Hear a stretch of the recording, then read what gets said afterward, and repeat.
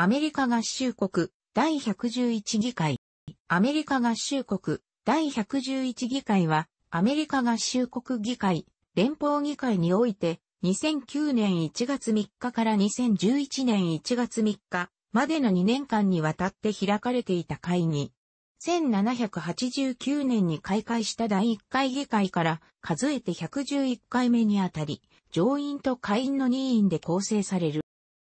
第111議会は、ジョージ・ W. ブッシュ大統領の任期終了直前に開会し、バラク・オバマ大統領の任期の前半、2年間とほぼ重なる。2009年1月6日に第1会期が始まった。会員の議席配分は2000年の全米国勢調査に基づいており、議員の顔ぶれは2008年11月4日に実施された議会総選挙の結果による。オバマ大統領が当選を果たした大統領選挙と同時に実施されたこの選挙では民主党が上下両院で議席数を伸ばし多数党としての地位を維持した。また、同議会では北マリアナ諸島のために初めて下院の議席が配分された。ただし、グアムなどと同様、投票権を持たない準議員扱いである。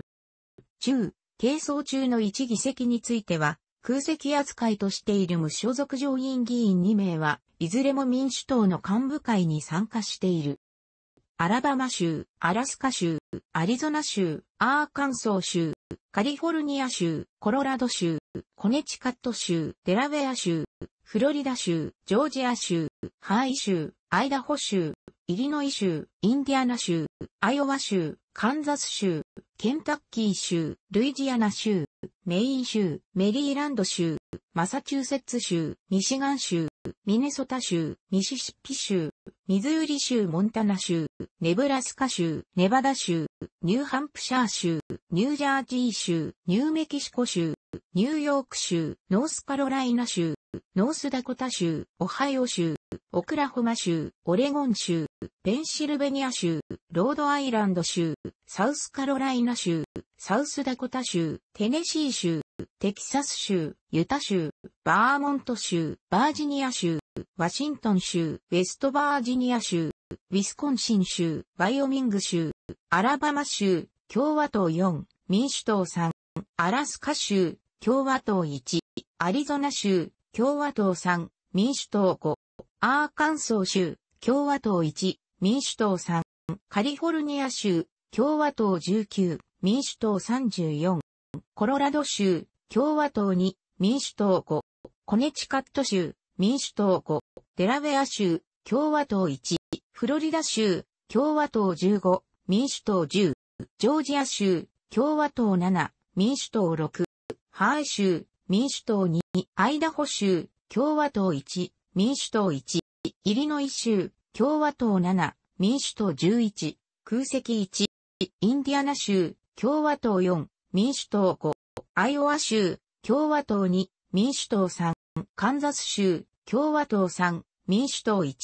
ケンタッキー州、共和党4、民主党2、ルイジアナ州、共和党6、民主党1、メイン州、民主党2、メリーランド州、共和党1、民主党7、マサチューセッツ州、民主党10、ミシガン州、共和党7、民主党8、ミネソタ州、共和党3、民主党5、ミシシッピ州、共和党1、民主党3、ミズーリ州、共和党5、民主党4、モンタナ州、共和党1、ネブラスカ州、共和党3、ネバダ州、共和党1、民主党2、ニューハンプシャー州、民主党2、ニュージャージー州、共和党5、民主党8、ニューメキシコ州、民主党3、ニューヨーク州、共和党3、民主党26、ノースカロライナ州、共和党5名、民主党8名、ノースダコタ州、民主党1、オハイオ州、共和党8、民主党10、オクラホマ州、共和党4、民主党1、オレゴン州、共和党1、民主党4、ペンシルベニア州、共和党7、民主党12、ロードアイランド州、民主党2、サウスカロライナ州、共和党4、民主党2、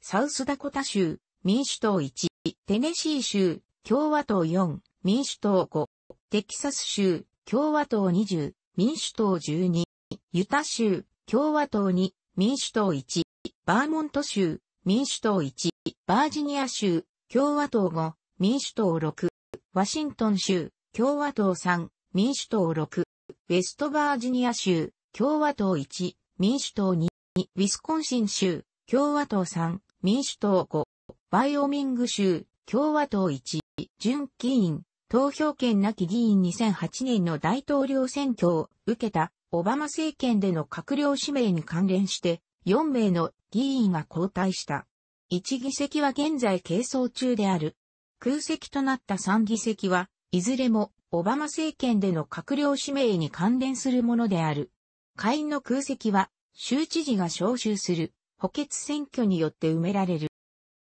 楽しくご覧になりましたら購読と良いです。クリックしてください。